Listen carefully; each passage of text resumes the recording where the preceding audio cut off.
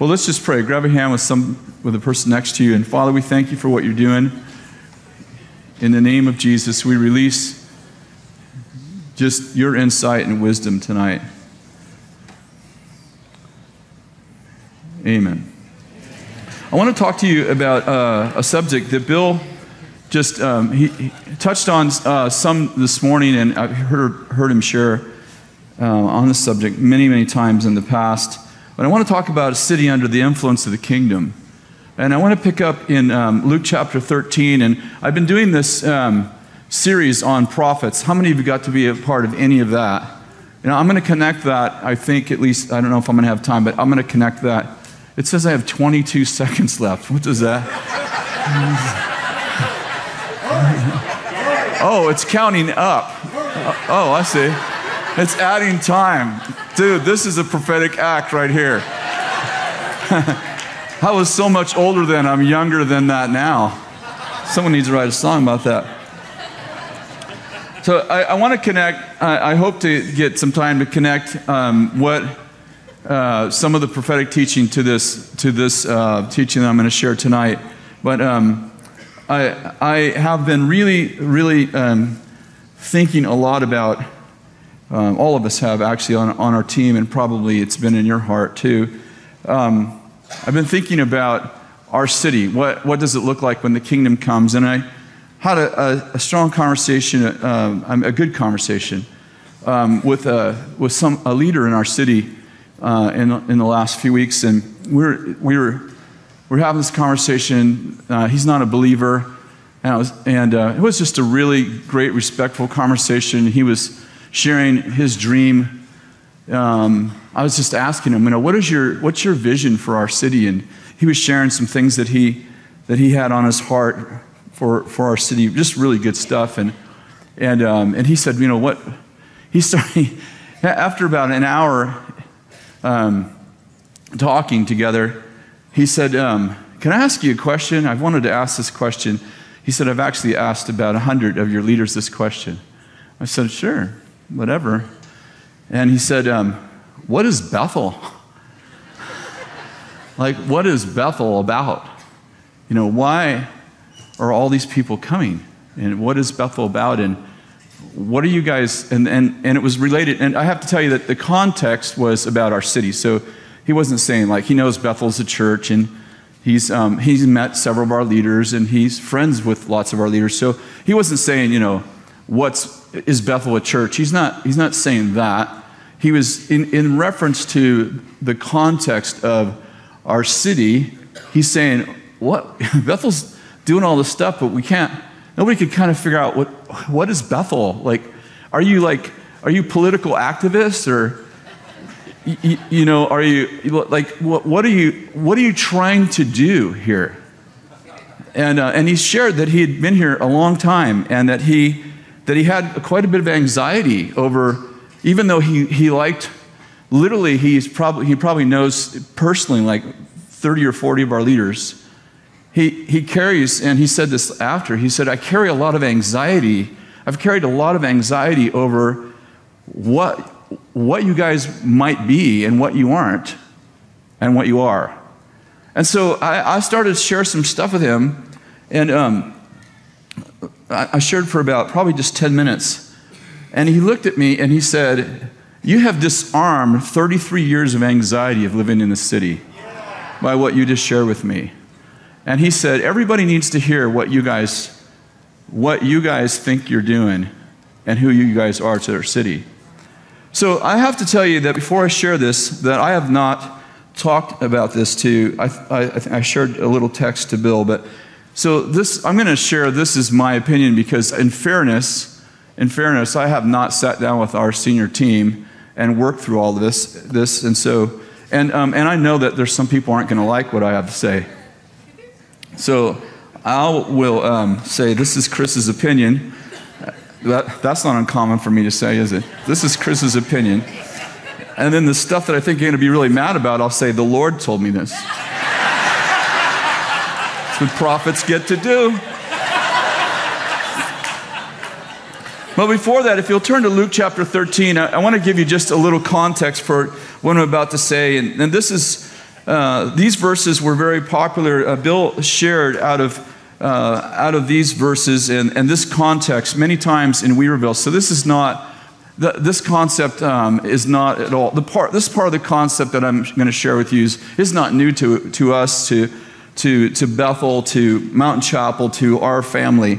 Um, and this is Jesus speaking about the kingdom of heaven. And, and actually, I think this is a, uh, I don't, I don't, um, I think it's about the third parable in a series of, of parables that Jesus is talking about. What, what should I compare the kingdom to? And in verse 18, he says this So he was saying, What is the kingdom of God like? And to what shall I compare it to? It's like a mustard seed which a man took and threw in his garden and it grew up and became a tree, and the birds of the air nested in its branches. Verse 20 is the verse I really want to connect to. And again, he said, And what shall I compare the kingdom of God? It is like leaven, which a woman took and hid in three pecks of flour until it was all leavened. It's like leaven in which a woman took and hid in three pecks of flour and it was until it was all leavened. Now, I don't know a thing about cooking baking or any of that kind of stuff. I'm actually not allowed in the kitchen. my kids were little and my wife would go on retreat. I remember she went on retreat two times, and both times my kids were, were little. And I remember Jason, he was probably four. As soon as Kathy walked out the door, she, he said, This is his first words out of, out of his mouth What are we going to eat? Seriously, that was, that's a true story. So I, I have no reputation for knowing anything about baking, cooking, and, uh, but I can cook soup, dude, and I am a master chef at the microwave. Seriously, if you can microwave it, I don't put eggs in there. yeah, and, and, don't dry your cat in there because that'll, that'll, that's really, yeah, not good. Tastes like chicken though. Anyway, uh, making friends right away. Okay, let's go on. It's like leaven, which a woman took and hid, and hid in three pecks of flour until it was all leaven. And this is, this is about, probably for those of you that do bake, and my wife bakes, it's, it's about taking leaven, putting it in dough, as you know, and it makes the bread rise. And so, and, and Jesus is comparing the kingdom. What shall I compare the kingdom to? And he says this he shares this parable and he said, Listen, and he shares several parables. So he's kind of giving you, well, it's like this, and it, it's like this, and it's like this over here. It's like a mustard seed, a little tiny seed, but when you put it in the garden, it becomes one of the biggest plants in the garden. And it's like, and it's oh, it's also like, it's like when a woman's baking and she puts a little bit of leaven in a whole bunch of flour and it makes the whole loaf rise. It's like that.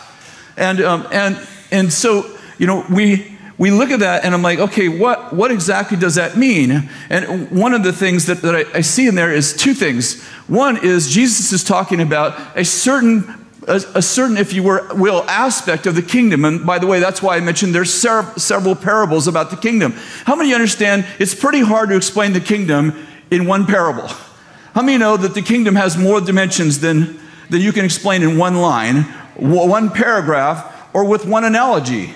And so, you know, oftentimes we're the body of Christ. You know, we're, we're, sons of God and we're the bride of Christ.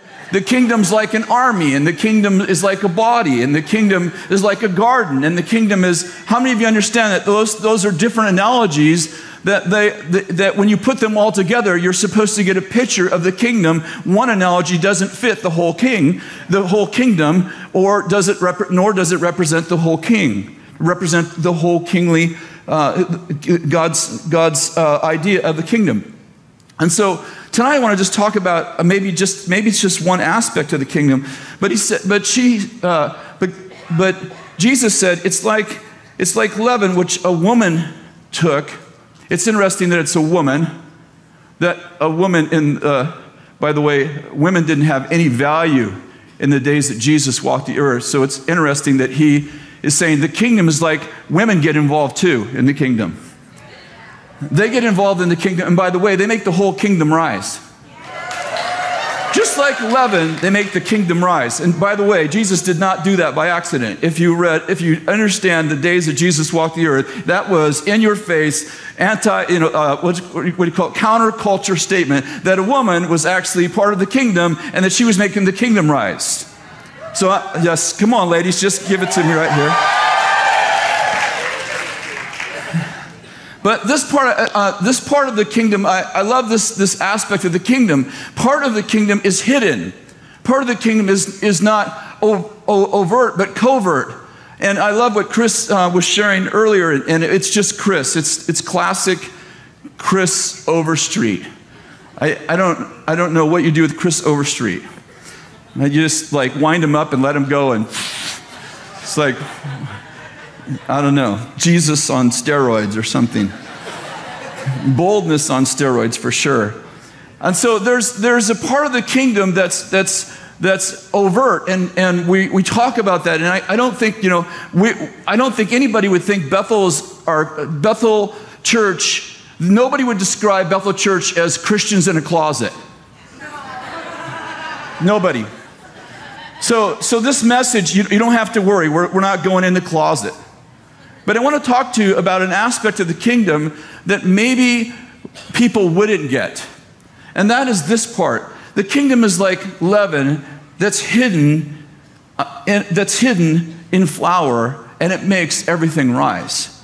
And I'd like to share with you, like, you know, we have um, obviously we have we have thousands of people that come to this church. I have no idea what the real number is. It's uh, there's 2,000 students just just students plus their families. I don't know, we have like 800 children in children's church on any given Sunday. I don't, I don't, know, I don't know how many thousands of people come to Bethel Church on any given Sunday. There's probably five, six, 7,000 people that call Bethel home. And there's 89 to 93,000 people in our community. Have you noticed the way that we've chosen to influence our community? It's called serving generosity, giving, and finding people to love and giving them what it is they think they need. And so um, I, um, I, I shared uh, a couple of things with him. First of all, I, I want to read you something I, I, I uh, wrote on Facebook um, because I think it might uh, more quickly say what I'm trying to say. I personally have no interest in Redding, California becoming the Christian equivalent of Mormon, Utah. I said, this is Kris's opinion. Don't get me wrong, I would love everyone in Redding to know Jesus, but my goal is for the kingdom to be extended into our city in such a way that it benefits believers and unbelievers alike. What I mean is that I want to see believers serve our city without an agenda except to love people in felt ways. I hate the concept that I'm obligated to get people to pray a prayer or, or, um, or that the reason I serve someone is to get them to go to church. I would hope that someone, I would hope that the fruit of people watching my life would be that they get hungry for God and get to know Him, but it's not my goal. When we make leading everyone to Christ our goal, we have an agenda and it feels like we're car salesmen with a fake interest in people so we can sell them Jesus. I don't want people to be my project or my business. I want the kingdom to come in, in every realm of life so that it reigns on the righteous and the unrighteous. In other words, it benefits everyone no matter their spiritual condition or their conviction.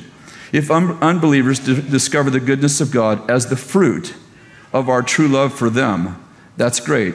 If they have no interest in Jesus or are opposed to him, it shouldn't affect our ability to love or serve them. So I'm not looking for Christians to take over our city. Constantine tried that in Rome, and it was a failed experiment. By the way, isn't it interesting that people often say that, that, that Rome failed because of immorality?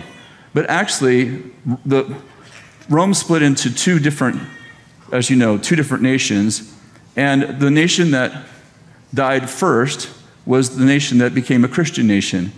When Constantine Christianized his, his nation and made it illegal to not be a Christian, 150 years later, Rome fell, not because of immorality, but because of religion. Just a thought. Might have one. So I'm not looking for Christians to take over our city. Constantine tried that in Rome, and it was a failed experiment. Why can't we just love people the way that Daniel loved Nebuchadnezzar and be released from selling Jesus? In the end, the king met God. What an awesome fruit. But it wasn't Daniel's goal to lead his king to God.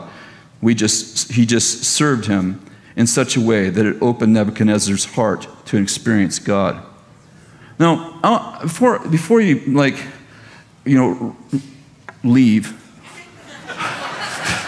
I already know what you're going to, what some people are thinking because there's, I got like 250, you know, comments.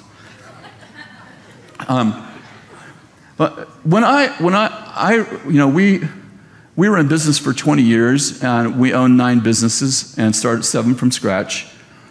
And um, follow my analogy. I, I never got in business so I can make money. How many of you understand it's pretty hard to be successful if you don't make money? But my goal wasn't to make money, it was to serve people. So I had goals on how we were going to serve people. And in serving people, the fruit of serving people was that we made money. But I didn't want to make the goal of my, of my business make money and then the people serve my goal. I wanted to serve the people and have the fruit of serving people profit. Are you with me? And I always looked at it like if we weren't making enough profit, we probably weren't serving well enough, or maybe there was new ways to serve people. And by the way, I am totally not against profit or money. You know, if you if you're a millionaire, a billionaire, it doesn't matter to me as long as you own as long as you own the money and it doesn't own you. As long as the money doesn't the money serves you, but you don't serve the money. As long as you own the house, but the house doesn't own you. As long as you own the business, but the business doesn't own you. And I use this analogy because I, I you know, we, I teach often in business, and I, I, think that especially young business people, they get in business and they're like, I'm going to make a lot of money. And I, God bless you, I hope that you do make a lot of money. But, but I think there's a difference between a Christian business and a kingdom business. In a Christian business, I, and I don't think there should be, but I just think there is. I see, I see business people who are Christians go into business and their goal is to make a lot of money. And I talk to them, they're like, My goal is to make a million dollars in the next 10 years. Awesome. What's your goal? My goal is to serve people so well, to do something in, in such an extraordinary way. Jesus said it this way He said, Do your works in such a way that people see your good works and they glorify your Father who's in heaven. My, my, I sold auto parts. Like, there isn't very many creative ways. You know, like, you know, the guy down the street sells auto parts. You know, there's, there's nothing, you know, I don't know if this is the right how to say this, but there's nothing sexy about auto parts. Probably should thought, I was trying to think of another way to say it, but you, you know, there's, there's like, you know, you sell auto parts. You know, how do you get people like, hey, come buy auto parts at our store? You know, it's just, it's just nothing you know, I, I, look at the Carl's Jr., you know, hamburger with the beautiful girl eating it. I'm like, she don't eat those burgers. I don't want to disappoint any of you, but she don't eat those burgers. Benny can tell you that. She don't eat those burgers. Um, people do all kinds of crazy stuff to like get you to buy their stuff. And I'm like, you know, if people are that stupid, you can buy burgers there. You know, I mean, I'm not saying Carl's Jr., I'm just saying whatever. You know, you, you drive that car, you're not going to get that girl. I, I'm sorry, you're just not. You know, that, that girl doesn't go with the car, whatever. You know, you know what I'm saying? You, you, you can wear that, but you're not going to look as good as that model who took eight hours to, you know, and, you know, and who, photo, who got photoshopped and airbrushed after they were done with her. You know what I'm saying? You're not going to look like that. So, so my goal is, my goal has always been how do I serve? How do I do something ordinary? Like auto parts is ordinary. How do I do it in a way that is the way I do it is so extraordinary? They go, that's got to be God. That guy seems to care about me. He doesn't seem just to want my money. I remember just simple things, and I, you know, these are just simple stories, but you know, people would come to the counter with all the stuff they want to buy to fix their car. And, and, uh, and uh, our guys would do the same. And I would say, Why are you buying that and that and that? And they're saying, Well, because I have this problem. I'd say, You don't need all that. I'd put all that back. Just buy this. And they're saying, I should just buy, like, that's your problem. Just buy that. That's all you need. You don't need $150 worth of parts. You just need this. Are you sure? 98% of the time, that's what's wrong. And by the way, that other stuff's not returnable. It's all electrical parts, so you don't want to buy that stuff. And worst case scenario, you buy this and then come back and get something else, but don't buy all that stuff. It's a waste of money. And the fact that people felt like they were people and not a number See, I, I, I want you to know, like, I, you know, I was lost. I, I, I did, I grew up in a family that didn't know Jesus. When I met Jesus, my, my whole, you know, my, I came alive. I, I want, I have a passion for people to know Jesus. I do, I do. I also hate being manipulated. I don't, I don't, I, I don't, I don't want the, you know, I'm going to be nice to you because so I can lead you to Christ. I'll, I'll, tell you, I don't know what you think about that. I think that's sucks. I'm trying to do my best. To, I, I, I think that it, my, I think it feels, I think it feels like I stepped on I stepped, you know, I, I, go to buy a car, and by the way, you know, I, I worked with car salesmen, and there's, there's lots and lots of good ones. There's great car dealerships here, by the way. We buy, buy almost all of our cars here in town, and there's great dealerships. But I'm talking about the typical, you know, stereotypical car salesman who comes up to you, and, you know, you walk on, onto the lot, and they're like, oh, I love your shirt you know, ah, where'd you buy those pants? And, I, am thinking, you, you, could give a rip about my shirt and you can give a rip about my pants. Can we not, like, can we not do plastic and can we not pretend? Like, if I didn't walk on this lot, you would give a rip about me. You know, and I'm not saying everybody, I'm just saying most people. And I, and I hate it. I hate the fakeness. I don't, I don't want to be, I, I just want, listen, you're, you're here to sell cars, I'm here to buy one. So let's just, can we just keep it real? Can we not, can you not pretend like you have to like me because you need to sell a car. I don't like that. And so, what would happen? What would happen if you just actually loved people? Yeah. No, I mean, it's a whole new concept, like you just actually did. No, I mean, you did because you just did. Uh, uh, all of us that have children know exactly what I'm talking about. Like, I have a plan for my kids, you know? Like, I want them to be successful. I want them to serve God. I want them to love God. I want all of that. But you know what? You know why I love them? I, if you do, would you tell me? Because I have no idea. Like, I just love them. When they came out, I just love them. You know, I say, I, I, can't say, I love you because you're a great basketball player. I love you because you're beautiful. Because the truth is, if you were ugly, I'd still love you. If you were a drug addict, I would still love you.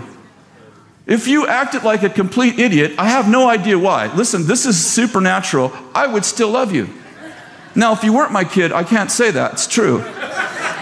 I'm just being real. Like, I struggle. Like, Dan says he's never met someone he didn't love. I, I can't say that's true.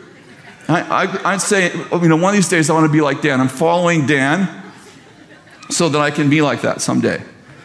But if I, there, there's something inside of me, there's something inherent in loving your children that tells you how God loves you.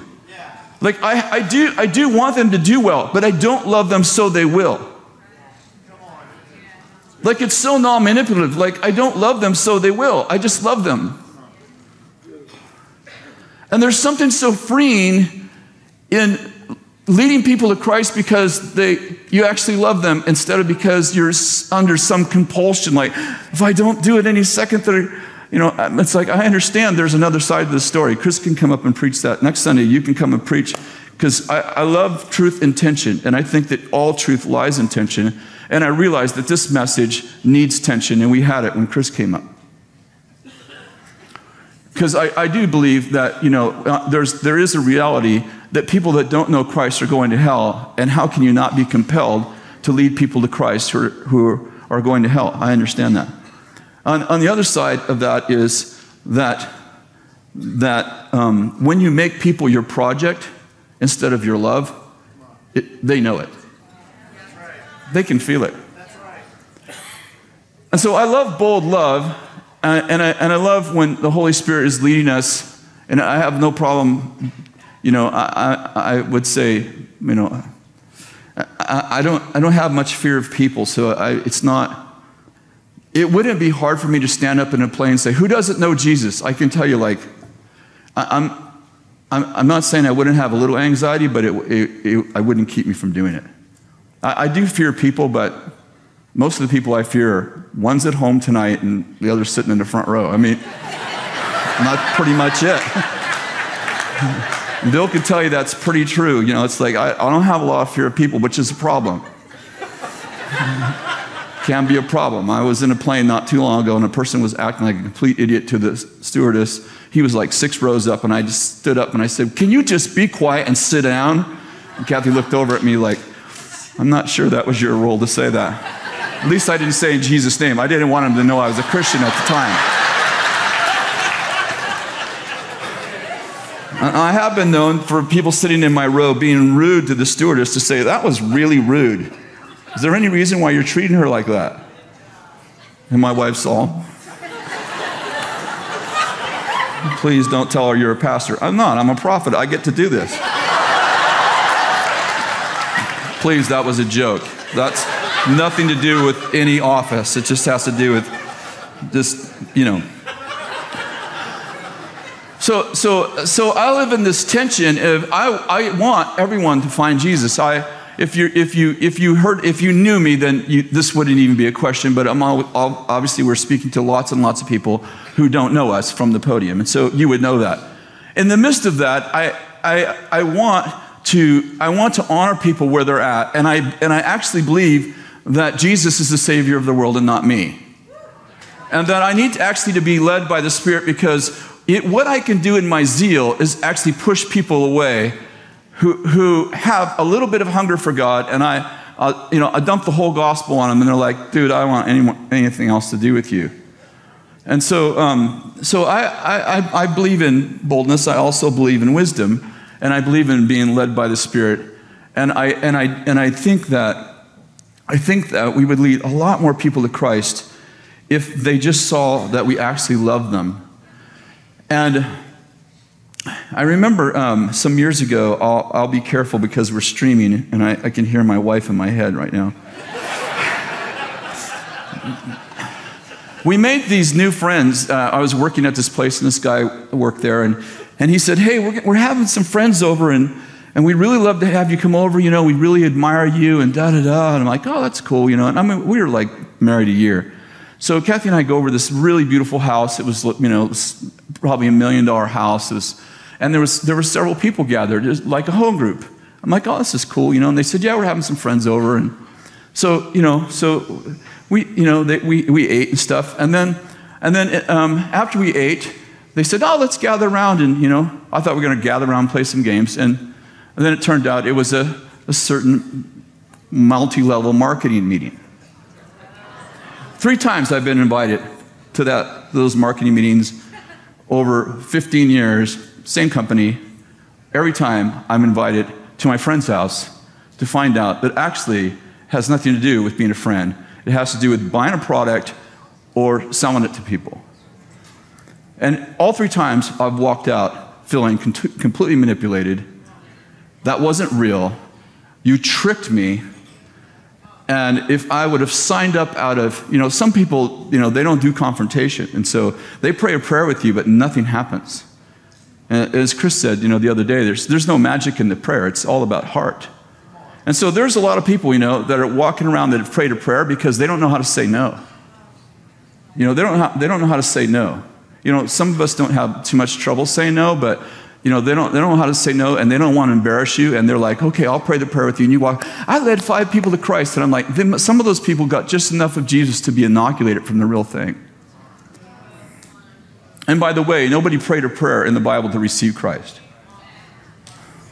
Show me one place where anybody prayed a prayer to receive Christ. I'd propose to you they got baptized as a sign of following Christ. And by the way, they didn't convert people to Christianity. They had followers of Jesus. And the way you knew that they were following Jesus is that they were following. It's a very interesting concept. They're like, Jesus following. So, so anyway, I, I know where I'm trying to go. I, I do feel some anxiety up here for obvious reasons. But, but the, the, the, concept that I, I pray for somebody to get, you know, Philip is a great example. He's with the eunuch, and, and, he's, and the eunuch is hungry for God because he's reading the Bible. And, you know, and Philip goes, Hey, do you understand what you're reading? This is the only named evangelist in the Bible, by the way. And he goes, No. He goes, Well, let me just take you through it. And He says, And he took him through the scriptures. We don't know what he said to him, but we do know this When they got close to water, he said, Is that enough water for me to be baptized in? He didn't say, Can I pray a prayer? So we know that the early church, baptism had something to do with acknowledging that you were following Christ. I understand that on a plane it's a little hard. Like, you know, let's go back in the toilet. You flush, I'll put you in there. guy comes out with blue hair, you're like, you're a Christian. You know, I don't know. This isn't going so well. I had something completely different pictured in my head.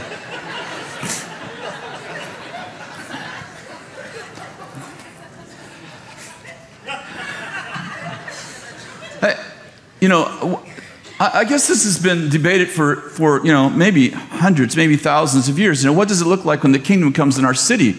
And, and, and I think, does it mean like we, you know, we develop a Bethel political group and we take every seat in city council and every seat in, in, you know, in, the, in, the, in the school system and you know and we you know we and we like we just take over our city when you come to our city we have all the political power and we have so many people we have so many students that you know we just fill every city council meeting uh, you know, eh, you know, there's only 200 seats there, and we tell our students, "Hey, there's a city council meeting, and we're gonna, we want to pass this thing, fill the place up. You know what? Just don't let anybody else get there early, by the way, and it's part of your class, so you know, you, we'll check in at the door. You know, and it's like, you know, we could literally do that.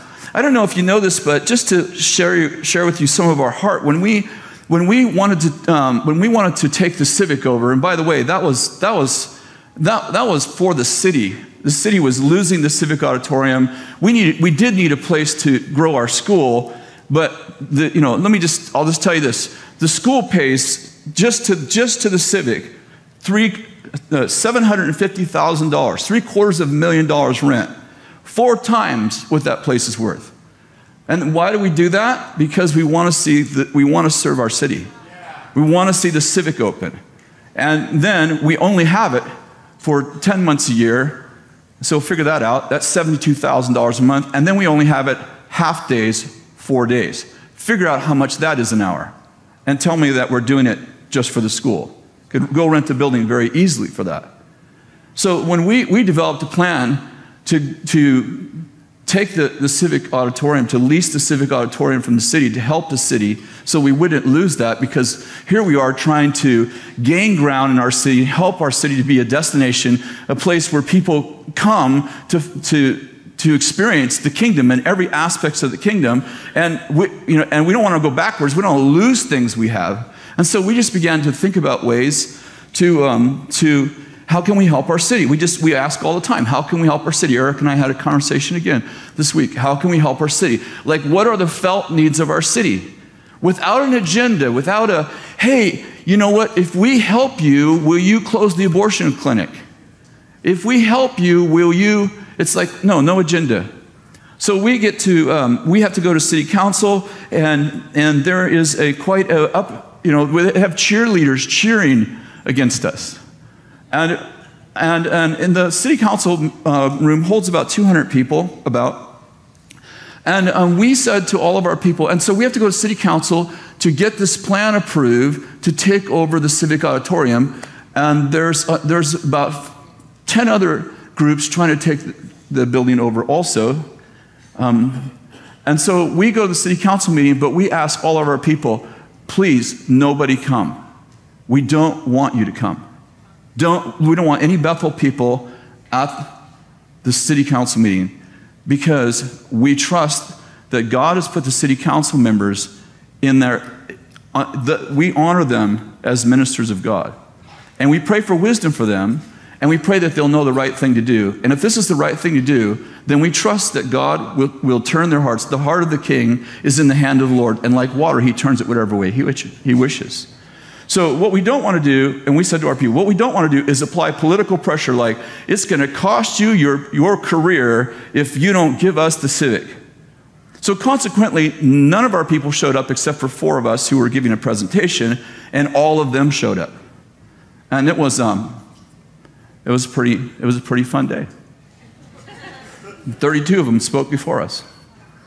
And, um, and probably 25 of them um, spoke against us, and the rest had their own plan. And ultimately, we just, you know, Charlie and I and, and the team, Sherry, I think, and there was somebody else there, Julie Winters, we just sat back and we listened, and we just said, and, and my presentation, I started the presentation, and I said, if this isn't the best plan, please feel free to choose whatever plan you think is the best plan. Because all we want to do is help our city. And we developed a PowerPoint and a plan, and when we got all done, they said, no one else seems to have a plan, everyone else just seems to have an opinion. This, if anyone else has a plan, please share it because what we've heard is 30, 31, 32 opinions, but we've heard no plan. And consequently, we ended up with the Civic. What I'm getting at is this we didn't apply political pressure to them. We just said, We're here to serve you. We think we have a great plan. If you don't think this is a great plan, give it to somebody else. But please don't let it close because that's not good for our city. Are, am I making any sense to you? And so, you know, we have, we have worked, when I say we worked hard, uh, we've, we've worked hard to build trust with our city because Christians are typically, they, they, they serve their city typically for an agenda, with an agenda, I mean. So typically they're like looking for something, they want something there. You know, it's like, do this, do that, and let's, you know, let's, um, let's, let's, let's use our force to change people from the outside in. And we're like, let's use our influence to help people see the kingdom from the inside out so they see how good the king is and they want the king. When I was young, Mario Murillo was one of my very favorite preachers. And he said one time, you know, if you have if you have something so amazing, you don't have to shove it down people's throat, they will steal it. Sometimes I'm concerned that we don't know that our product is the best. Sometimes I think we think there's even a close second.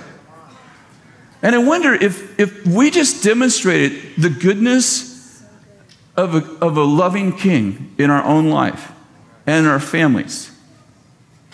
I wonder how many people would want our king if they just knew how much he loved them. In fact, God had an evangelistic plan in the Old Testament. He said to Israel, I'm going to treat you so awesome, the nations around are going to go, wow, that's amazing. What God do you serve? Okay, we'll serve him. And it was called, his, his, his evangelistic plan was called jealousy. No, look it up. It's called the jealous evangelistic plan. God goes, I'm going to bless you, and the ends of the earth will know it, and they'll come running, and they'll come say, and they'll come say, Hey, uh, teach us the ways of the Lord. It doesn't say you'll go and shove it down their throat. It says you'll rise and shine, and they'll come. Um, let me tell you what that requires. It requires you to actually have a successful marriage and not just talk about one. This is deep. People doing seminars on marriage don't even have marriage sometimes. Anyway, that's just my opinion. um, I, I like the idea of I like the idea of being hidden in a way well, let me say this I would never hide because I'm afraid. Me, personally. It's not my personality type. I understand that, that, God makes all kinds of different people, and I value the people in this room like, you know, you're shy, and, you know, speaking to other people is, is tough, and I have areas of my life that, you know, freak me out too. So I'm not like, oh, I got it all together. I don't. But talking to people is not a problem about pretty much anything. I mean, I talk about sex from up here. You know, it's not a problem. People like, they cover their heads with their Bible, and I'm still talking. I'm like, having a good time. Not a problem at all. So, so, so when I tell you, like, you know, like I, I, like I like, I like just serving people and loving people, and then when they go, you know, well, how come you're so successful? I say, well, I said, actually, now they go, are, are you a Christian? I go, No, I'm a follower of Jesus. just, I've just been doing that lately. Because sometimes Christian and follower of Jesus some, used to be, you know, they used to be synonymous, and I'm not sure they are anymore. So, anyway, um, I had this uh, prophetic word a while back I shared here. Um, and and I, I think it kind of typifies what I'm trying to say tonight, and that is, you know, I, uh, in fact, let me read you this part of the word. Um, it's about Rolls Royce. Rolls Royce was founded in 1906 by Henry Rolls and Charles Royce. Uh, I'm sorry, Henry, uh, Henry Royce and Charles Rolls. And Rolls Royce began as an aircraft engine manufacturing company. And Rolls Royce was powered about half the planes flown by the Allies, and now Rolls Royce builds cars. Now, um, the, the, reason I'm sharing that with you is I, I, had this encounter with the Lord. This part is a prophetic word. This part, uh, you, it needs to be judged, but it, it isn't my opinion. It is a word that I felt the Lord gave me uh, a few months ago. I felt like the Lord um, uh, said, in fact, he, he, he, gave me a vision, and, and in the vision, I saw.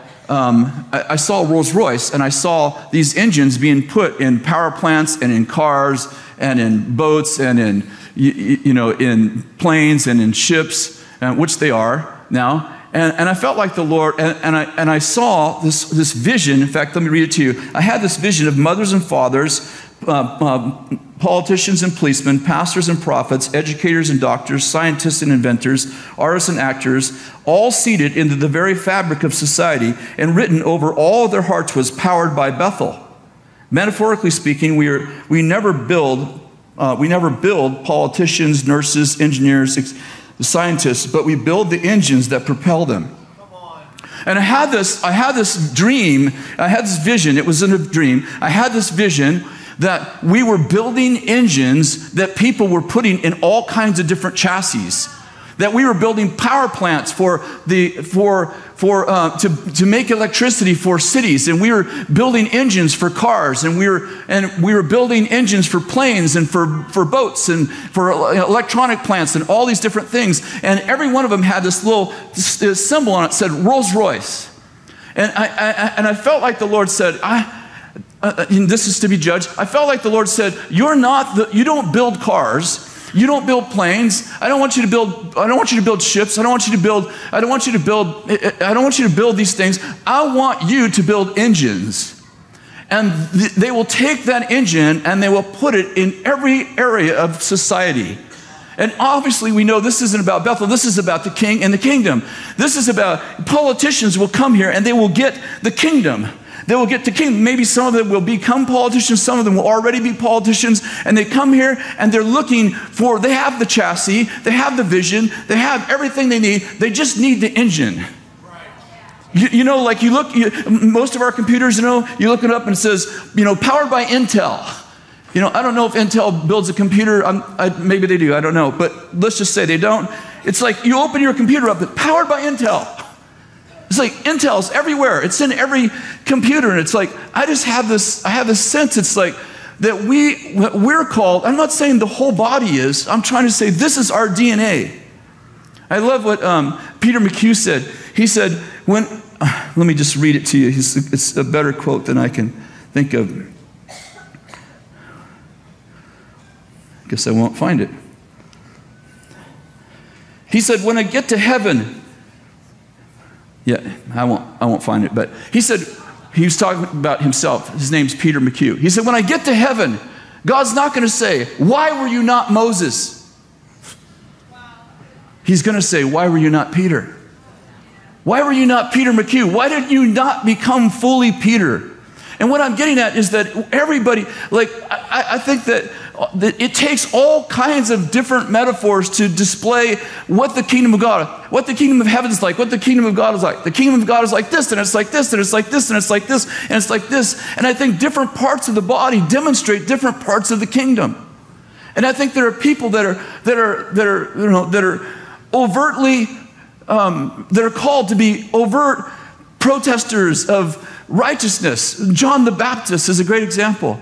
And I think there's other people that are they're needed in society. And if you will, they're hidden in the dough of society. And in the dough of society, all of society rises. Why? Because behind the scenes, and behind where nobody knows, behind the scenes, everybody knows Pharaoh, everybody knows, everybody knows Nebuchadnezzar, but behind the scenes is a Daniel.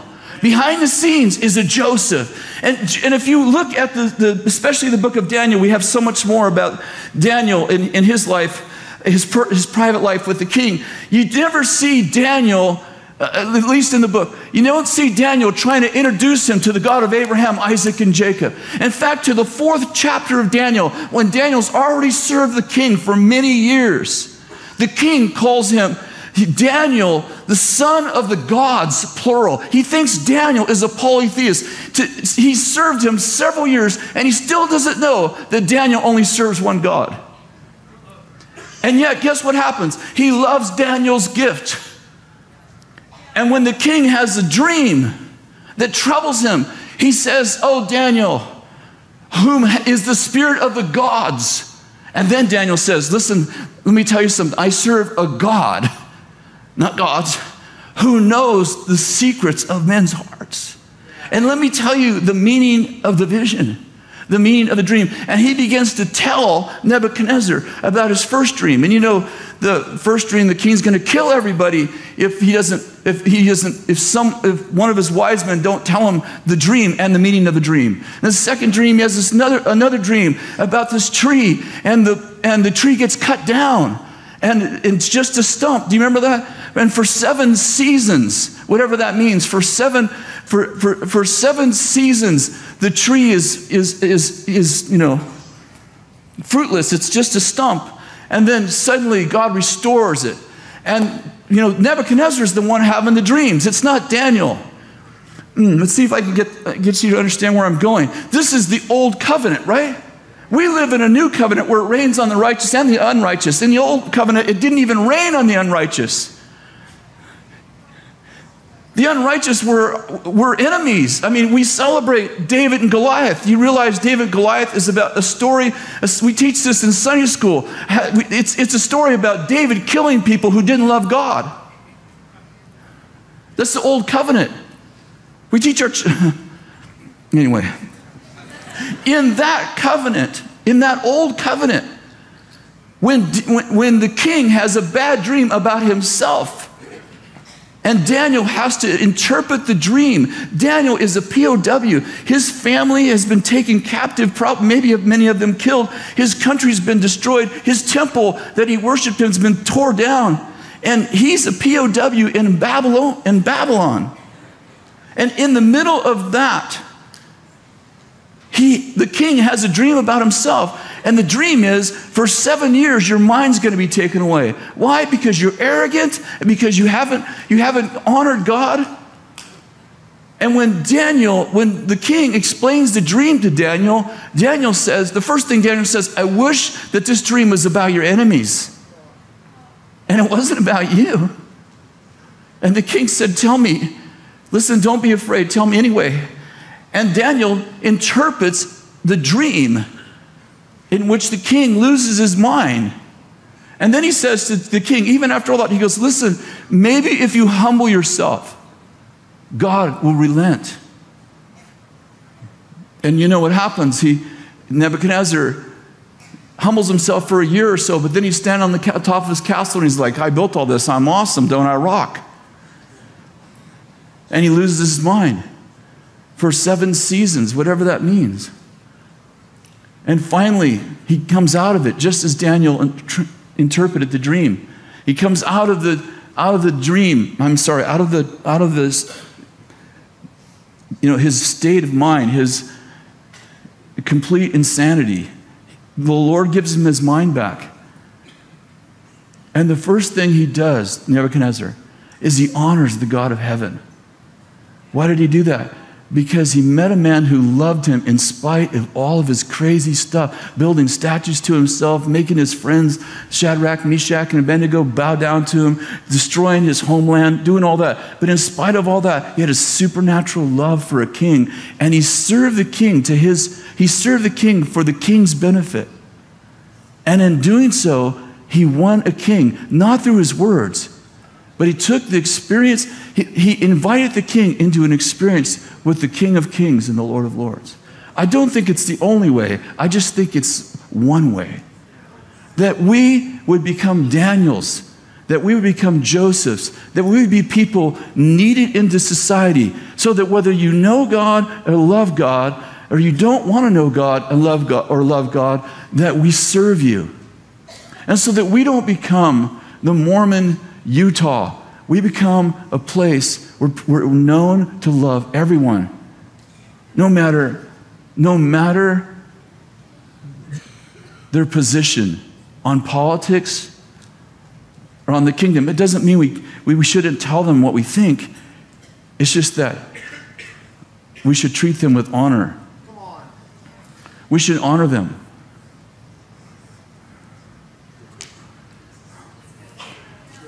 I, I don't know if this is a new concept to some people. It didn't go well on Facebook. I, I think would be, I, I think, and I'm just, can I just talk to you from my heart for a minute? I, I just want to say this. I think that if people knew that I was not using this message to cover my fear of talking to people about Jesus, it would be easier for them. Because that, that's not a problem for me.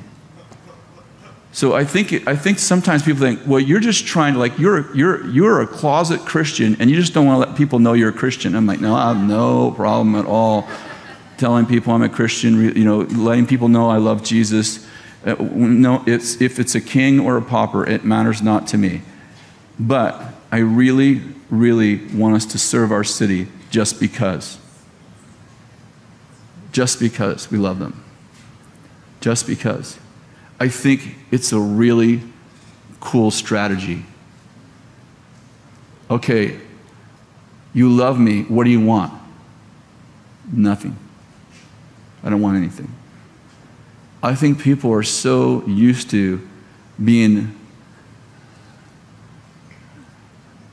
marketed. They don't even know what to do when you just actually love them without an agenda. Uh, uh, uh they, it, like they still like five years later they're still trying to figure out now now now why are you doing this? Why are you helping us? When we love you. Yeah but yeah i understand you love us but why? When are you going to ask for the sale? And so i told this man back to this conversation i said um, he said, So what's Bethel? I said, Bethel builds Rolls Royce engines. We, we, we develop kingdom mindsets that benefit people, and we put them in all areas of society, and we have no, we have, we have no desire to make this a Mormon Utah. If we wanted to do that, do you not think that we would have done it a long time ago? He said, I never thought of that, but I can tell you one thing you just disarmed 33 years of anxiety. And he said, if people knew in our city, that people who didn't know God knew that you were actually serving the city because you love the city, it would dispel years of anxiety. Because people think you have another motive. He said, everybody, everybody I talk to loves you guys and doesn't trust you. Because nobody treats anyone this good without an agenda. That's what he said. What he said. Nobody treats anybody this good without an agenda. That's the king. Jesus had lots of followers, and um, he's our model, is he not? And you know, this guy comes to him and says, "Hey, what do I have to do? You know, what?" He doesn't use the word kingdom. What do, what do I have to do to be all right with God? He said, "I don't know. What does the law say to you?" He says, "Do this, this, this, this, and this." He said, "Good. Well, do that. You'll be fine." The guy goes, Wait a second, I did that. I'm not satisfied.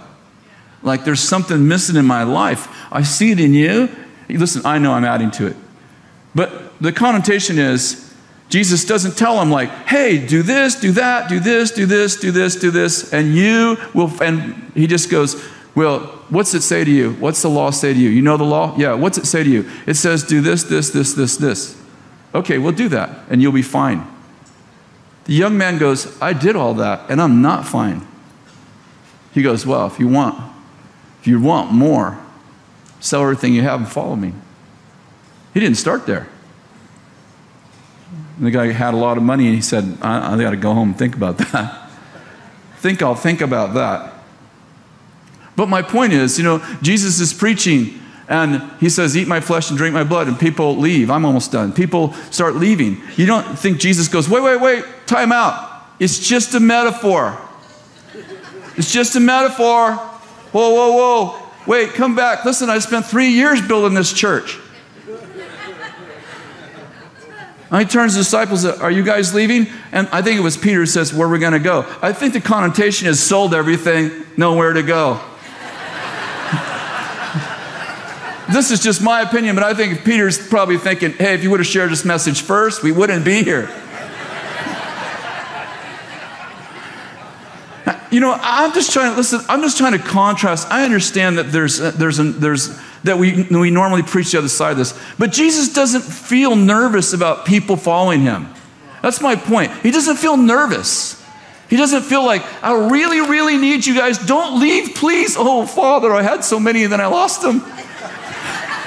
You know, I, I, don't know if he had the Monday, Monday morning blues. Oh, I wish I wouldn't have preached that message. I wish I wouldn't have used that. I wish I wouldn't have said sucks. You know, he, he wouldn't have said sucks, but in Hebrew, whatever that is. And, I'm uh, Greek or whatever. I wish you would, you know, I wish I wouldn't have done that, you know, like, like some of us preachers, like I do sometimes. I'm like, oh, I wish I would have did that, you know. I, I don't, Jesus doesn't, I, are you with me? Jesus doesn't seem nervous about getting people to follow him. He doesn't seem nervous about it. He doesn't seem like he's like has a lot of anxiety about it. And he's hanging out with sinners and he's making friends with them. And you know, when they run out of wine, the sinners, he makes wine. I don't know, people are like, well, he didn't make wine, he made grape juice. Well, now the passage makes no sense. Most people serve the good grape juice first. I don't know how you fix that. I've never been grape juiced out. You know, it's like, well, you know, go over Bill's house, like, man, this is some good grape juice. Oh, this is some really good grape juice. Why didn't you serve this first? No, the Greek word there is something like metros, and it means drunk. And, you know, Jesus made wine for people who were drunk. He's hanging out with sinners and making wine for people because his mother told him to. You know? this is like, this is just Jesus, you know?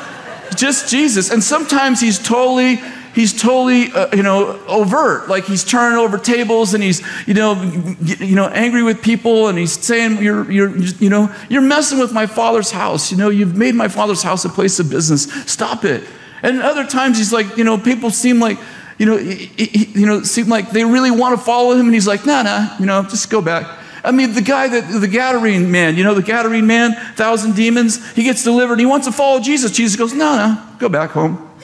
We'd be like, oh yeah, another member. You got to go to the membership class, fire starters, and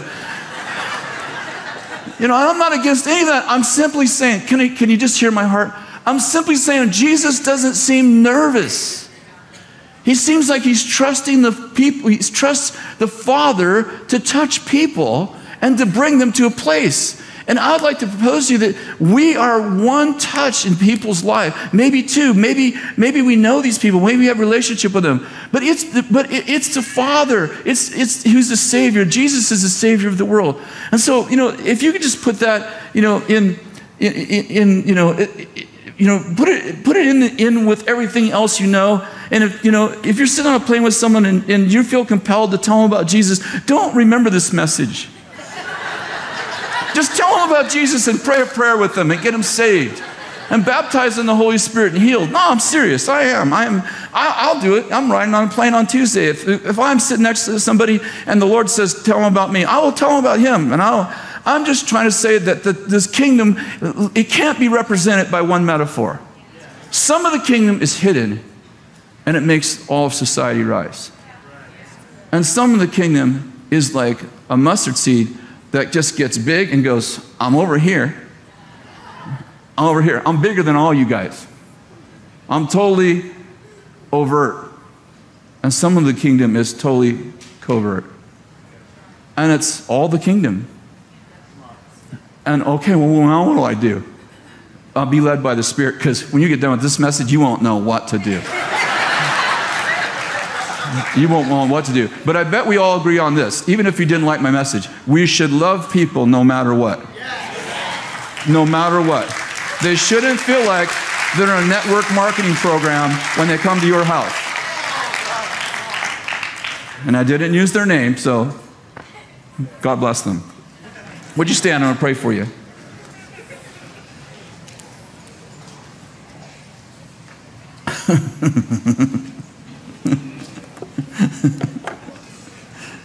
Only two people walked out. hey, better than Jesus. He said, Greater works than you'll do. I'm like, there it was right there.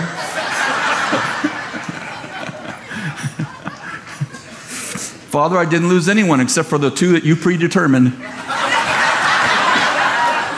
And who knows how many people turned off iBethel TV and turned in the, the front rows like,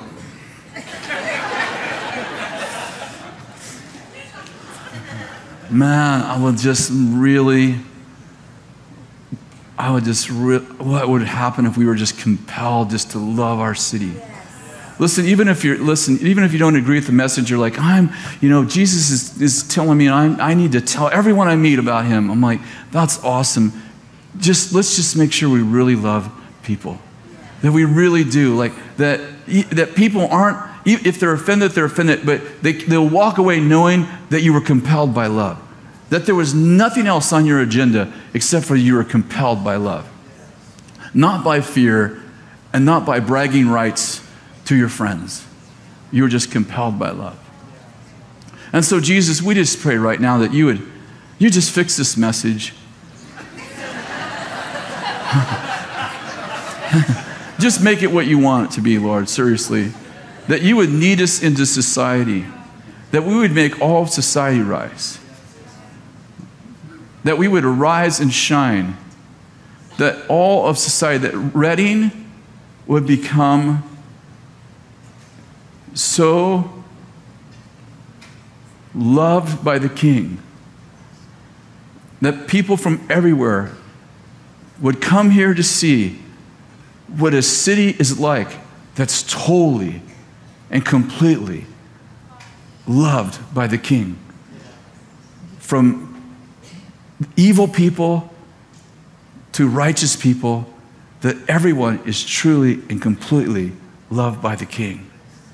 And God, I pray that every single person, I pray that people that drive through our city, that they would feel like they drove, drove through